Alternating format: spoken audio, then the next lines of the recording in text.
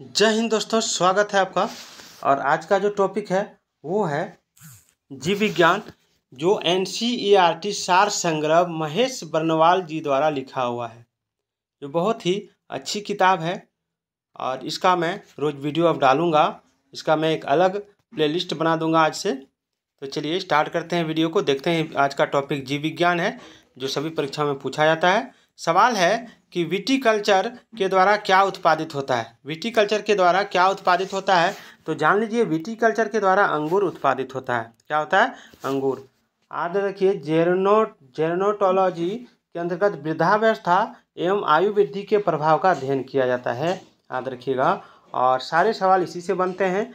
सवाल जो है, वो है वर्मी कल्चर में कौन सा कीट प्रयुक्त होता है? तो वर्मी कल्चर में केंचुआ, यानी अर्थवर्म प्रयोग होता है। याद रखिएगा। दूसरा क्या है कि पेडोलॉजी के अंतर्गत किसका वैज्ञानिक अध्ययन किया जाता है? तो पेडोलॉजी के अंतर्गत मृदा का वैज्ञानिक अध्ययन किया जाता है, मिट्टी का। याद रखिएगा। फूलों के अध्ययन को क्या कहते हैं? तो फूलों के अध्ययन को एंथोलॉजी कहते हैं। क्या कहते हैं? एंथोलॉजी, याद रखिएगा। आगे है, कीटों का वैज्ञानिक अध्ययन क्या कहलाता है? तो एंटोमोलॉजी कहलाता है। एंटोमोलॉजी, कीटों का वैज्ञानिक अध्ययन एंटोमोलॉजी कहलाता है, फूलों का अध्ययन को एंथोलॉजी कहते हैं। यहाँ आप गड़बड़ाइएगा नहीं, फूलों का जो अध्ययन है वो एंटोलॉजी एंथोलॉजी है, और कीटों का जो वैज्ञानिक अध्ययन है वो एंटो एंटोमोलॉजी है, याद रखिएगा। दूसरा है जनसंख्या एवं मानव जाति के आंकड़ों का अध्ययन क्या कहलाता है? तो जनान की की, जनान की की या इंग्लिश में रह सकता है डेमोग्राफी। जनसंख्या और मानव जाति के आंकड़ों का अध्ययन डेमोग्राफी या जनान की की कहलाता है। चलिए, जन से जनसंख्या होता है और जन से जनान की की होता है। आगे है, जीवाश्म वनस्पति प्ले पैलियो बॉटनी के अंतर्गत पादप जीवाश्म का अध्ययन किया जाता है, यानी फॉसिल्स प्लांट का अध्ययन किया जाता है। याद रखिएगा, और विभिन्न संस्कृतियों के वैज्ञानिक विवरण के तुलनात्मक अध्ययन को क्या कहा जाता है? तो तुलनात्मक अध्ययन जो होता है, इसमें एथनोलॉजी होता है। यानी संस्कृति का जो करता है, जो संस्कृति का अध्ययन करता है, उसको एथनोलॉजी कहते हैं। याद रखिएगा।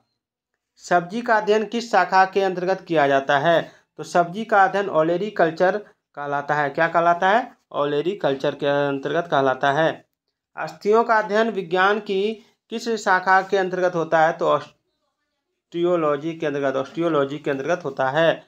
दूसरा है, सर्पों का अध्ययन किस वैज्ञानिक शाखा के अंतर्गत किया जाता है? तो सर्पेंटोलॉजी सर्प से सर्पेंटोलॉजी याद रखिएगा, अस्थियों से ऑस्ट्रियोलॉजी याद रखिएगा। दूसरा है हाइड्रोपोनिक्स जो है किससे संबंधित है? तो हाइड्रोपोनिक्स मृदा रहित पादप संवर्धन से संबंधित है। हाइड्रोपोनिक किससे संबंधित है? तो मृदा रहित पादप संवर्धन से संबंधित है, याद रखिएगा। जंतु विज्ञान के अंतर्गत किन जंतुओं का अध्ययन किया जाता है? तो जीवित व मृत दोनों प्रकार के जंतुओं का, यानी मरा हुआ और ज़िंदा दोनों प्रकार के। अब है जीव विज्ञान की विभिन्न शाखा, शाखाओं के जनक। देखिए, जीव विज्ञान के विभिन्न शाखाओं के जनक के बारे में हम लोग पढ़ेंगे। जंतु विज्ञान, जूलॉजी के जनक अरस्तु हैं। वनस्पति विज्ञान, बोटनी के थियोफ्रेस्टास। सूक्ष्मजीव विज्ञान, माइक्रोबायोलॉजी के लुई पास्टर हैं। और जीवाणु विज्ञान, बैक्टीरियोलॉजी के रॉबर्ट कॉच हैं। और प्रतिरक्षा विज्ञान, इम्यूनोलॉजी का एडवर्ड जेनर है। और इन्होंने चेचक के टीके की भी खोज की थी, याद रखिएगा। और आ जाइए। वार्गिकी अथवा वर्गीकरण विज्ञान जो है, वो कहा जाता है किसमें? वो आ जाता है केरोलस लिनियस में।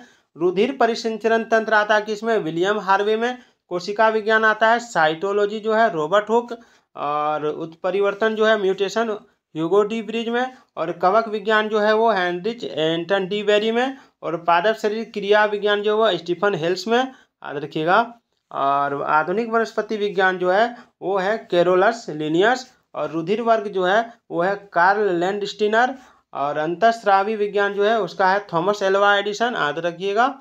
और आनुवंशिकी का जो है वो ग्रेगर जॉन मेंडल मटर के दानों पर किया था, मटर के पौधों पर।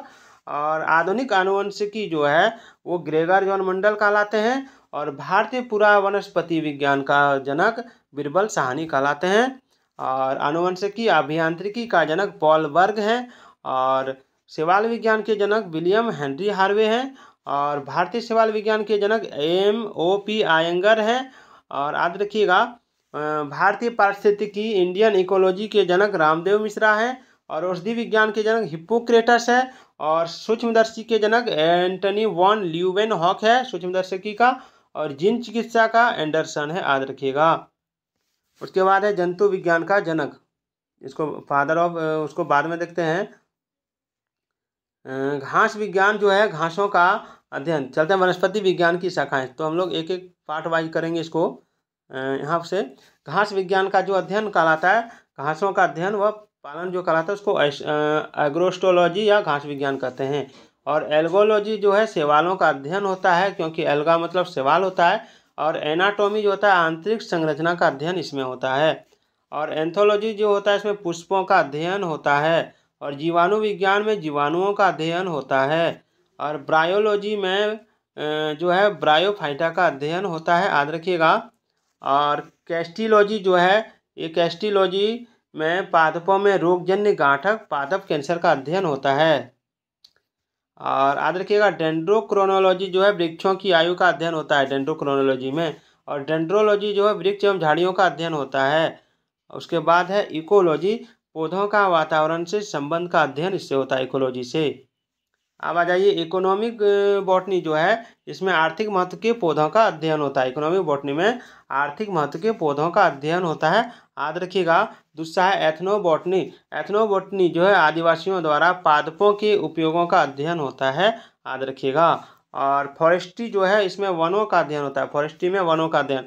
यहाँ पे ध्यान दीजिएगा ये जो इकोनॉमिक बॉटनी है, इसमें आर्थिक महत्व के पौधों का अध्ययन होता है और एथनो बॉटनी में आदिवासियों द्वारा पादपों के उपयोग का अध्ययन होता है और फॉरेस्ट्री में जो होता है, उसमें वन का अध्ययन होता है। उसके बाद आ जाइए इधर एक्सोबायोलॉजी जो है, इसमें अन्य ग्रहों पर संभावित जीवों की उपस्थिति का अध्ययन होता है और जेनेटिक इंजीनियरिंग जो होता है, कृत्रिम जीन्स का निर्माण व स्थानांतरण का अध्ययन होता है और लाइकेनोलॉजी जो है, उसमें लाइकेंस का अध्ययन होता है। और माइक्रोबायोलॉजी जो है सूक्ष्म जीवों का इसमें अध्ययन होता है, याद रखिएगा। अध्ययन के बारे में भी है और इसको नीचे कर लेते हैं। हाँ इसमें देखिए, थोड़ा बड़ा कर देते हैं। बस। माइक्रोबायोलॉजी कवकों का वैज्ञानिक अध्ययन होता है। माइक्रोप्लाज्मोलॉजी जो होता है माइक्रोप्लाज्मा का वैज्ञानिक अध्ययन होता है। और नीमेटोलॉजी जो होता है, इसमें नीमेटोडस का पादपों के साथ संबंधों का अध्ययन होता है। और याद रखिएगा पेलियोबोटनी जो होता है, इसमें पादप जीवाश्मों का अध्ययन होता है। दूसरा है पेलिनोलॉजी पेलिनोलॉजी जो होता है, पराग कणों का अध्ययन होता है। और तीसरा है पैथोलॉजी पादप रोगों का उपचार व अध्ययन होता है। और पैरासिटालॉजी जो होता है, पोषक तथा परजीवियों के संबंधों का अध्ययन होता है। उसके बाद जो है फार्मेकोलॉजी, इसमें औषधीय पादपों का अध्ययन होता है और फिजियोलॉजी जो होता है, इसमें विभिन्न पादपों के जैविक क्रियाओं का अध्ययन होता है। और उसके बाद है टेरिडोलॉजी जो होता है, इसमें टेरिडोफाइट्स का अध्ययन होता है। उसके बाद फाइटोजियोग्राफी, पौधों के वितरण व उसके कारणों का अध्ययन होता है। उसके बाद स्पेशो बायोलॉजी जो है, इसमें अंतरिक्ष तथा वायुमंडल में स्थित पादपों का अध्ययन होता है। स्प्रेमोलॉजी में बीजों का अध्ययन होता है और हिलियोथेरेपी में सूर्य के प्रभाव से चिकित्सा करने की प्रक्रिया का अध्ययन होता है। और हाइड्रोपोनिक्स जो है इस शाखा के अंतर्गत बिना मृदा के बागवानी की जाती है।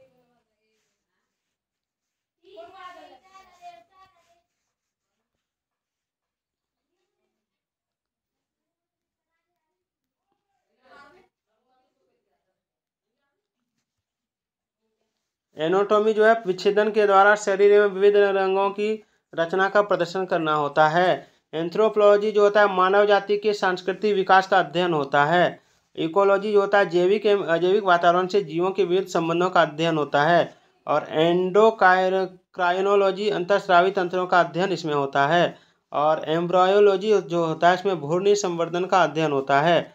और दूसरा है एंजाइमोलॉजी उत्प्रेरकों का अध्ययन होता है और एंटोमोलॉजी कीट पतंगों का अध्ययन होता है और जेनेटिक्स जो होता है, इसमें जीवों की आनुवंशिक लक्षण एवं उनकी वंशागणिति का अध्ययन होता है। याद रखिएगा। इसमें थोड़ा सा धुंधला आ रहा है, ये साफ़ आ रहा है। हाँ। हिमेटोलॉजी जो होता है, इसमें रुधिर एवं रुधिर संबंधी रोगों का अध्ययन होता है। हर्पेटोलॉजी, उभयचर एवं सरीसृपों का अध्ययन होता है और मेमोलॉजी स्तनधारियों का अध्ययन होता है। और माइक्रोबायोलॉजी अति सूक्ष्म जीवों का अध्ययन होता है और न्यूरोलॉजी तंत्रिका तंत्र का अध्ययन होता है और ऑडोंटोलॉजी दंत विज्ञान संबंधी अध्ययन होता है और ऑर्निथोलॉजी पक्षियों का अध्ययन होता है और पैथोलॉजी में जो होता है रोगों की प्रकृति लक्षणों एवं कारणों का अध्ययन होता है और रेडियोलॉजी में जीवों पर विकिरण प्रभाव का अध्ययन होता है और टेक्सोनोमी में जीव जातियों के नामकरण एवं वर्गीकरण का अध्ययन हो, होता है। याद रखिएगा। अब आ जाइए नीचे जो दिया है वो सवाल क्या है? नीचे दिया है, आयु वृद्धि के साथ जीवों में होने वाले परिवर्तनों का अध्ययन जरा विज्ञान कहलाता है, यानी जेरेनोटोलॉजी कहलाता है। चलिए तो आज का ये वीडियो आपको कैसा लगा, ज़रूर कमेंट कीजिएगा। तो फिर मिलते हैं अगले वीडियो में, तब तक के लिए जय हिंद, जय भारत।